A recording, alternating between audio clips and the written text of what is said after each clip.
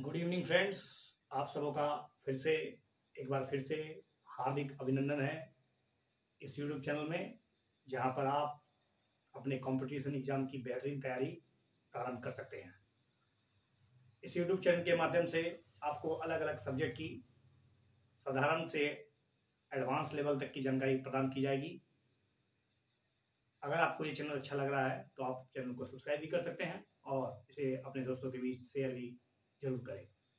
आज का topic stock market से जुड़ा हुआ है। पिछले वीडियो में स्टॉक मार्केट के बारे में जो छोटी मोटी जानकारी थी, जैसे कि प्राथमिक बाज़ार प्राइमरी मार्केट सेकेंडरी मार्केट क्या होता है स्टॉक मार्केट क्या होता है स्टॉक एक्सचेंज क्या होता है स्टॉक एक्सचेंज के क्या कार्य होते हैं सेवी का क्या रोल होता है, और भारत और विश्व के तमाम जो स्टॉक एक्सचेंज है, उसके अलग अलग दृष्टिकोण से मैंने उन्हें समझाने की कोशिश की थी कि भारत का पहला स्टॉक एक्सचेंज जैसा कि आप जानते हैं कि बॉम्बे स्टॉक एक्सचेंज इसकी स्थापना कब हुई? इसके अलावा विश्व के पाँच प्रमुख स्टॉक एक्सचेंज जिसमें मैंने बताया था उसके बारे में। Everything I discussed but in this video I will discuss about important term terminology बहुत से इंपॉर्टेंट महत्वपूर्ण पद है जिसकी चर्चा इस वीडियो में होगी। बने रहिए अंत तक सो लेट्स स्टार्ट पहला, सबसे पहले हेडिंग स्टॉक मार्केट से जुड़े महत्वपूर्ण पद, यानी टर्म्स ये महत्वपूर्ण टर्म्स क्या है? इसको एक एक करके समझेंगे। सबसे पहले है script share first topic script share what do you understand with script share what इससे आप क्या समझते हैं? स्क्रिप्ट शेयर क्या होता है? देखिए स्क्रिप्ट शेयर का सीधा मतलब है कि वे शेयर जो कंपनी द्वारा अपने पुराने शेयर धारकों को फ्री में दिया जाता है। मतलब एक तरह से कहे तो दिस इज़ ए कंपनी इसके ढेर सारे शेयर होल्डर्स हैं। A B C D this is company और इसके ढेर सारे शेयर होल्डर्स है एबीसीडी और भी शेयर होल्डर्स है। तो शेयर होल्डर्स को ये कंपनी फ्री में जो शेयर बांटती है that is called script share एक तरह से इसे बोनस भी कहा जा सकता है। इसे बोनस शेयर भी आप कर सकते हैं। This is also called bonus share मतलब एक तरह से बोनस दिया जा रहा है। अपने ही कंपनियों को ध्यान रहे। अब कंपनी के अपने ही शेयर होल्डर्स को, दूसरे शेयर होल्डर्स को नहीं। जब कंपनी अपने ही शेयर होल्डर्स को अधिक शेयर मुफ़्त में बांट देती है that is called script share अगला है स्वेट शेयर ऐसे तो स्वेट में पसीना होता है बट यहाँ पर स्वेट का समथिंग कुछ अलग ही मतलब है। जब बिना किसी शुल्क के कंपनियों के कर्मचारी को शेयर बांटा जाता है तो आप बोलेंगे, ये और इसमें क्या डिफरेंस है? स्क्रिप्ट शेयर कंपनी एक तरह से बोनस के रूप में देती है, और जब बिना किसी शुल्क के, इसमें शुल्क तो ऑलरेडी लिया जा चुका है कंपनी के द्वारा, चूँकि आपने अच्छा काम किया तो आपको स्क्रिप्ट शेयर मिला, ताकि आप अधिक से अधिक शेयर सेकेंडरी मार्केट में बेच पाए। लेकिन स्वेट शेयर में क्या होता है? निःशुल्क होता है। पूरा तरह से निःशुल्क। निःशुल्क वितरण किया जाता है अपने ही कंपनी के, अपने ही कर्मचारियों को। That is called sweat share next है rolling settlement.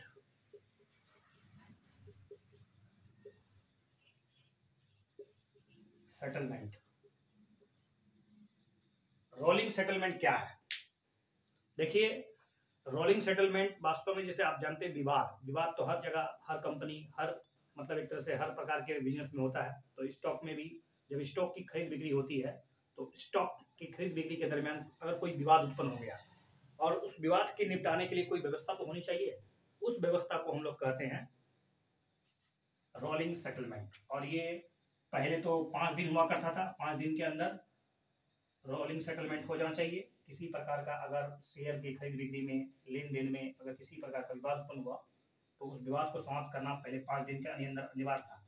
अब इसे घटाकर तीन दिन ही कर दिया गया है। तो तीन दिन के अंदर ही अंदर शेयर से जुड़े हुए जितने भी लेन देन होते हैं, उसमें किसी प्रकार का अगर विवाद होता है तो उसे रोलिंग सेटलमेंट के रूप में जाना जाता है। I think you are understanding okay next है बदला। ये रिवेंज जो अमिताभ बच्चन और तापसी पन्नू के बीच बनाया गया फ़िल्म था, वो नहीं है। बदला आखिर स्टॉक मार्केट में जो शब्द है, इसका क्या अर्थ है? देखिए स्टॉक कारोबार के विलंबन की मांग, जब स्टॉक खरीदार द्वारा हो मतलब एक तरह से अगर आपने स्टॉक खरीदा, और स्टॉक खरीदार के द्वारा, ध्यान रहे यहाँ पर बहुत इंपॉर्टेंट बात है, खरीदार के द्वारा। जब स्टॉक खरीदार के द्वारा स्टॉक के विलंबन की बात हो पोस्टमैन कर दीजिए थोड़ा देर के, रोक दीजिए। स्टॉक कारोबार के द्वारा विलंबन की जब मांग हो रही हो, किस चीज़ का? तो पोस्ट ठीक है? पोस्टपोन पोस्टपोनमेंट नहीं बोलते हैं कि पोस्ट हो गया पोस्टपोनमेंट हो गया, स्थगित। स्थगन। जब इसको स्थगन कर दिया जाए I think I would watch देखता हूँ कि दिख रहा है नहीं। ओके दिख रहा है। तो ये है स्टॉक खरीदार के द्वारा जब स्टॉक के विलंबन की बात हो, विलंबन की मांग हो तो दैट इज़ कॉल्ड बदला। ये बदला स्टॉक खरीदार के द्वारा होता है। ध्यान रहे, जब स्टॉक खरीदार के द्वारा, यही सब उलट जाएगा जब औदा औदा बदला होगा। तो I think you are understanding आप इसका स्क्रीनशॉट लिए ताकि तेज़ी से आप इसका रिविजन कर सकें। Okay just opposite to it औंधा बदला टॉपिक है औंधा बदला औंधा बदला ये क्या होता है? देखिए, जब स्टॉक के खरीदार नहीं, जब स्टॉक के बिक्री कर रहा स्टॉक विक्रेता जो भी स्टॉक बेच रहे हैं शेयर जो बेच रहे हैं, उनके द्वारा अगर विलंबन की मांग रोक दिया जाए, तब इसको कहते हैं औंधा बदला। जब किसी स्टॉक कारोबार के विलंबन की मांग, ध्यान रहे, जब स्टॉक कारोबार के विलंबन की मांग स्टॉक विक्रेता के द्वारा हो, तब इसको कहते हैं औंधा बदला या फिर आप कह सकते हैं प्रतिवर्ती बदला। प्रतिवर्ती, जिसको रिवर्स बोलते हैं। तो दैट इज़ कॉल्ड ऑल्सो प्रतिवर्ती बदला या पश्चिम गमन रिवर्स बैक अब रिवर्स बैक होते हैं। दैट इज़ कॉल्ड औंधा बदला। ओके ये सारे के सारे जो इंपॉर्टेंट टर्मिनोलॉजी है that are very important terminology and could be asked in examination just for little knowledge not deep knowledge have to be just little bit about it sound कम दबाइए है ना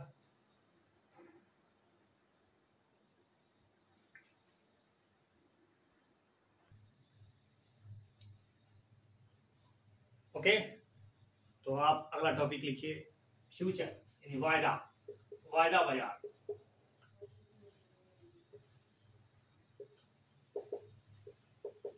देखिए, जब स्टॉक की, यानी शेयर की खरीद बिक्री भविष्य में किसी निश्चित अवधि में, किसी निश्चित मूल्य पर किया जाना संभव हो पाए तो इसको ऐसे मार्केट को वायदा मार्केट कहते हैं। मतलब शेयर के भविष्य में किसी भी मूल्य पर, ठीक है, किसी भी मूल्य पर बोली लगाई जा सके। दैट इज़ कॉल्ड वायदा बाज़ार, फ्यूचर मार्केट। पहले से तय की गई, भविष्य की किसी तिथि में यह कारोबार हो जाएगा। ऐसा अनुमान लगाया जाता है। Okay there is running so little bit sound don't bother about that तो याद रखिएगा, भविष्य की किसी निश्चित तिथि तथा निश्चित कीमत पर या मूल्य पर बोली लगाने का जब अधिकार हो, बोली लगाने का जब अधिकार हो, तब ऐसे स्टॉक मार्केट में जो हो, जो कुछ भी होता है that is called future okay अगला है स्प्रेड स्प्रेड बहुत ही खतरनाक खतरनाक वर्ड का इस्तेमाल हो रहा है don't worry you remember about it देखिए शेयर के क्रय और विक्रय, मूल्य के बीच के अंतर को ही कहते हैं। ये शेयर है तो इसका जो क्रय मूल्य और विक्रय मूल्य दोनों का डिफरेंस शेयर के क्रय मूल्य और विक्रय मूल्य के डिफरेंस को स्प्रेड का नाम दिया जाता है। शेयर के क्रय और विक्रय मूल्य के बीच का जो अंतर होता है दैट इज़ कॉल्ड स्प्रेड वास्तव में शेयर की तरलता जितनी ज़्यादा होगी ना स्प्रेड उतना ही कम होगा। मतलब क्रय मूल्य और विक्रय मूल्य के बीच स्प्रेड यानी अंतर जो होगा, वो शेयर के, ठीक है, तरलता पे डिपेंड करता है। शेयर की तरलता ज़्यादा है मतलब बहुत ज़्यादा शेयर अगर मार्केट में है तो उसका बीच का जो डिफरेंस होगा क्रय और विक्रय मूल्य के बीच का डिफरेंस जो होगा, वो बहुत कम होगा, क्योंकि एक और एक और मांग बढ़ जाएगा। तो शेयर की कीमत बढ़ जाएगी, दूसरा, उसी शेयर को दूसरा कोई बेचेगा तो उसकी भी डिमांड बढ़ जाएगी तो दोनों के बीच का लाभ का जो अंतर होगा वो घट जाएगा।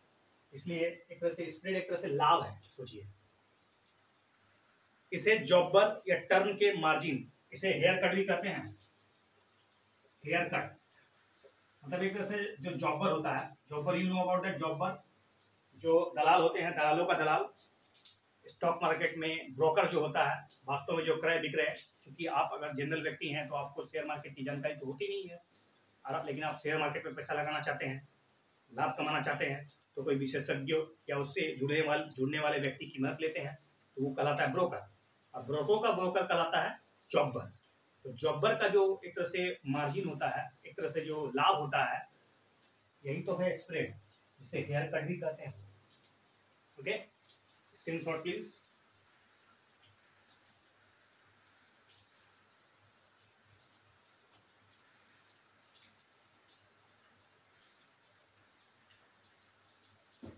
okay next है अपसहो असहोकारीकरण असहोकारीकरण असहोकारीकरण इसको डी म्यूचुअलाइजेशन कहते हैं। डी म्यूचुअलाइजेशन डी म्यूचुअलाइजेशन अब सहोकरण अब सहोकारीकरण अब सहोकारीकरण क्या है? देखिए, वर्ष 2012 में, वर्ष 2012 से भी यही भारतीय प्रतिभूति नियामक बोर्ड के द्वारा इसे मतलब स्टॉक मार्केट को एक तरह से लाया गया था, स्टॉक मार्केट एक्सचेंज बोर्ड। क्योंकि इसमें, देखिए, आपको एक शब्द होता है conflict of interest conflict conflict of interest इसका हिंदी होता है हितों का टकराव। हितों का टकराव। हितों का टकराव मतलब सोच में कहना चाहिए कि न्याय होना ही नहीं चाहिए, बल्कि होते हुए दिखना भी चाहिए। देखिए, जब आप स्टॉक मार्केट को संचालित करते हैं तो स्टॉक मार्केट में स्टॉक मार्केट के तहत एक डायरेक्टर ऑफ़ बोर्ड होता है। उस डायरेक्टर ऑफ़ बोर्ड में अगर बाय द वे कोई जॉबर या कोई दलाल ऑलरेडी मौजूद है तो वो तो कहीं ना कहीं कंफ्लिक्ट ऑफ़ इंटरेस्ट तो हो जाएगा, हितों का टकराव हो जाएगा। कहीं कहीं वो शेयर के प्राइस को हो सकता है, पहले जारी कर दे। या शेयर का जो मार्केट प्राइस होता है, पहले से वो डाउन कर दे। इस तरह की घटनाएँ हो सकती है संभावना है। इसलिए सेबी के द्वारा 2012 में स्पष्ट रूप से कहा दिया गया कि जो स्टॉक मार्केट के जो डायरेक्टर होंगे स्टॉक एक्सचेंज के स्टॉक एक्सचेंज के जो बोर्ड ऑफ़ डायरेक्टर होगा बोर्ड ऑफ़ डायरेक्टर उसमें कभी भी दलाल नहीं हो सकता है। दलाल इसके सदस्य नहीं हो सकते हैं। इसी को कहते हैं डी म्यूचुअलाइजेशन दैट मीन अप सहोकारीकरण आपका स्क्रीनशॉट ले सकते हैं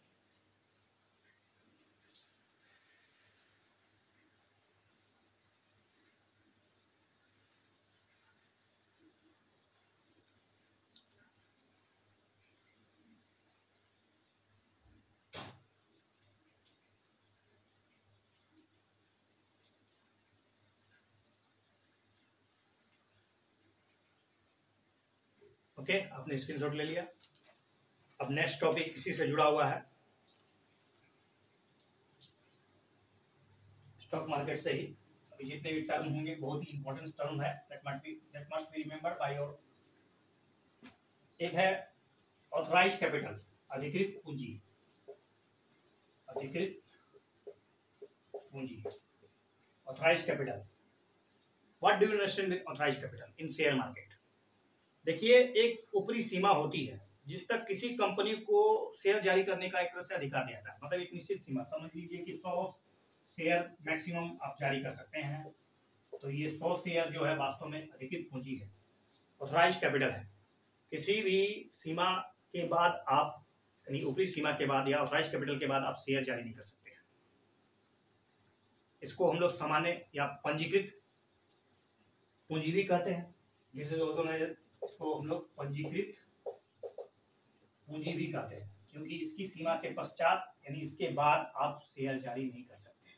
ओके इसके अलावा इसी से संबंधित है देय पूंजी, जिसको हम लोग पेड अप कैपिटल कहते हैं paid up capital paid up capital क्या होता है कि शेयर मार्केट में जब शेयर जारी किया जाता है तो उसको एक मैक्सिमम कैप होता है तो उससे ज़्यादा आप शेयर बेच नहीं सकते हैं। तो इस उम्मीद से आप बेचते हैं कि अधिक से अधिक मुनाफा कमाया जाए। लेकिन अधिकृत पूंजी का ऊपर जो पढ़ाया गया है कि अधिकृत पूंजी का एक वह हिस्सा होता है, वह भाग होता है, जिसके द्वारा कंपनी मतलब कंपनी को शेयर के जारी करने से उसको प्राप्त होता है। मतलब पेड ऑफ़ कैपिटल कहाँ से आया? इसी को बेचने से आया। तो कितना बेचा गया? मतलब एक निश्चित सीमा के बेचने के पश्चात, ऐसा तो नहीं है कि सौ आपको मैक्सिमम क्या तो आपने सौ के सौ शेयर बेच दिए। नहीं। वह हिस्सा जो अधिकृत पूंजी का एक वह हिस्सा जो शेयर को बेचने पर, बाज़ार में लाने पर अधिकृत पूंजी का ही हिस्सा है दे पूंजी। दैट इज़ कॉल्ड कैपिटल पूंजी, ठीक है? ओके नेक्स्ट है पूर्वकृत पूंजी। पूर्वकृत पूंजी। इसको सब्सक्राइब कैपिटल कहते हैं सब्सक्राइब सब्सक्राइब कैपिटल। देखिए सब्सक्राइब कैपिटल क्या होता है? शेयर धारकों द्वारा वास्तव में भुगतान किया गया। अगर आपने शेयर खरीदा तो आपने जो भुगतान किया है सपोज़ दे पूंजी पेडअप कैपिटल तो आपने समझ गया कि अधिकृत पूंजी का मतलब मैक्सिमम शेयर है। मैक्सिमम शेयर को कितना बेचे तो उसमें कितना कमाया गया, कितना हिस्सा है। लेकिन सब्सक्रिप्ट कैपिटल जो होता है, वास्तव में अगर देखा जाए तो वास्तव में आखिर शेयर धारकों ने कितना आखिर धनराशि दिया? शेयर धारकों को आखिर कहाँ से पैसा? शेयर धारकों ने पैसा दिया इस कंपनी को। तो उसके पास जो सब्सक्रिप्ट कैपिटल होता है उस शेयर धारकों द्वारा जो भुगतान किया गया राशि है, उसी को कहा जाता है सब्सक्रिप्ट या सब्सक्राइब कैपिटल अगला है निर्गमित पूंजी। निर्गमित। पूंजी। इशू प्राइस्ड इसको कहते हैं? इशू प्राइस्ड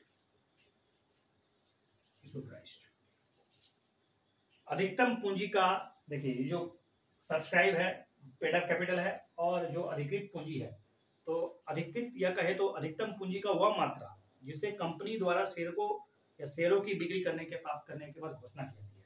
मतलब एक तरह से कि इशू प्राइस क्या है कि जब आपने शेयर को बेचा, शेयर को बेचने के पश्चात आपको पेमेंट हुआ दैट इज़ प्रोविगित पूंजी सब्सक्राइब सब्सक्राइब कैपिटल तो सब्सक्राइब कैपिटल कितना मिला? इसकी घोषणा की जाएगी। इस घोषणा के पश्चात ही पता चलेगा कि वास्तव वास्तव में इशू प्राइस क्या था।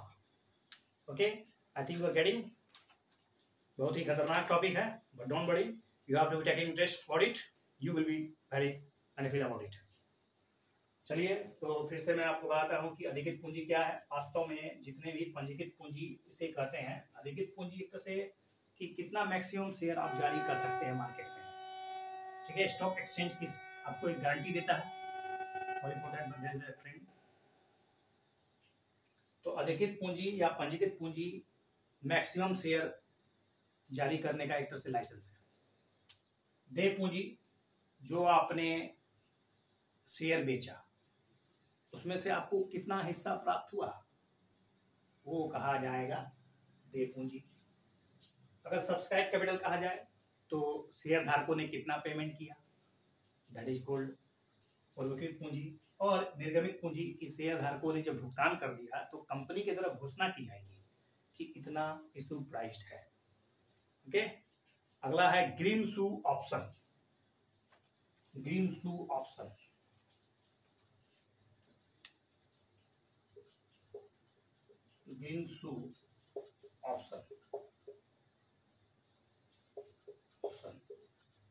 क्या है ये ग्रीन सू ऑप्शन? जिसके तहत कंपनी पहली बार शेयर जारी करता है। ठीक है? और उसको कहा जाता है कि आप कुछ शेयर जारी एक्स्ट्रा कर लीजिए। यानी मैक्सिमम मैक्सिमम पंद्रह प्रतिशत ज़्यादा।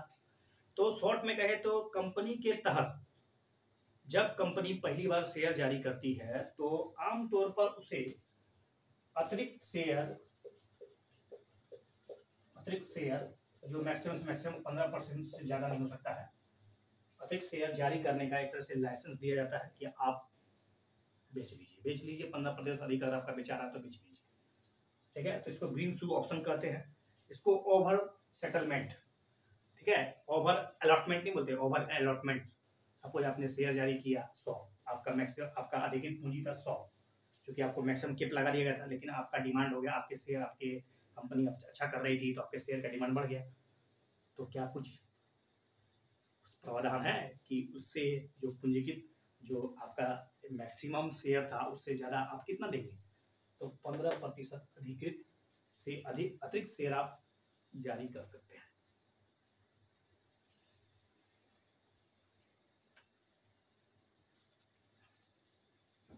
इसके अलावा है, अगला टॉपिक है पैनी स्टॉक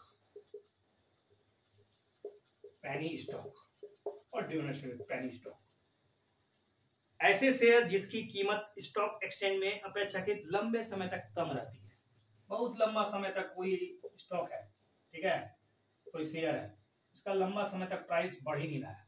लंबे समय तक इसका प्राइस बहुत ही डल है।